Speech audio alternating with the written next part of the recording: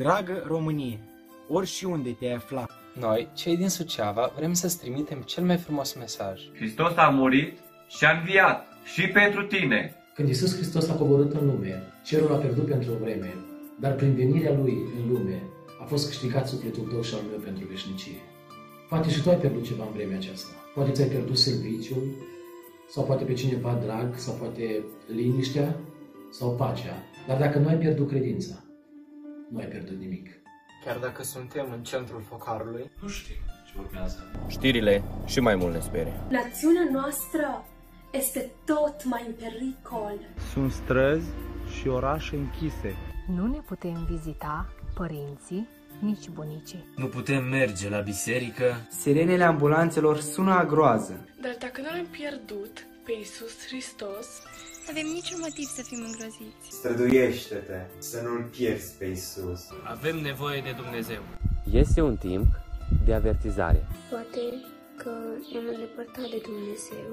La biserică mergeam când nu ne era somn. Rugăciunea de seară era prea monotonă, dacă mai era. Biblia era prea prăfuită ca să mai stea încă un an la locul ei. Covorul din fața oglinzii era prea bătucit. Ochii erau prea obosiți de atâtea nopți privind ecranele. Cerul era prea departe să simțim triumful, bucuria învierii.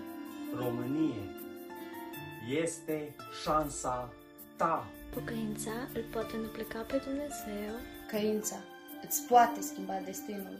Prieten drag, prin acest scurt mesaj, am vrut să-ți transmitem cea mai frumoasă veste pe care o poți auzi vreodată. Și această veste este că Domnul nostru Isus Hristos a murit și a înviat și este viu în vecii vecilor.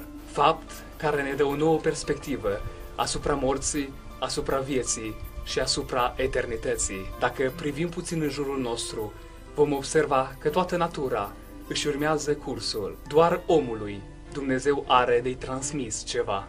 Situația critică prin care trece întreaga lume acum.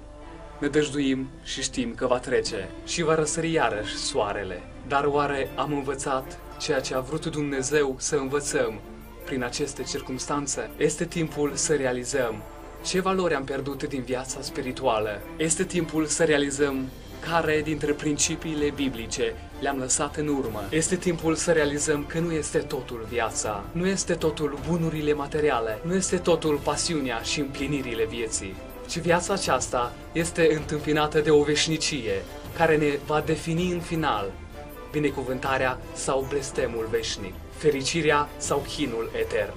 În consecință, te las pe tine să realizezi cât de valoroasă și fără egal este moartea și învierea Domnului Isus, în contrast cu eternitatea ta. Acum mă rog ca Dumnezeu să reînvie credința, să-L reînvie pe Hristos și pasiunea pentru pocăință și rugăciune în inima fiecărui român. Hristos a înviat.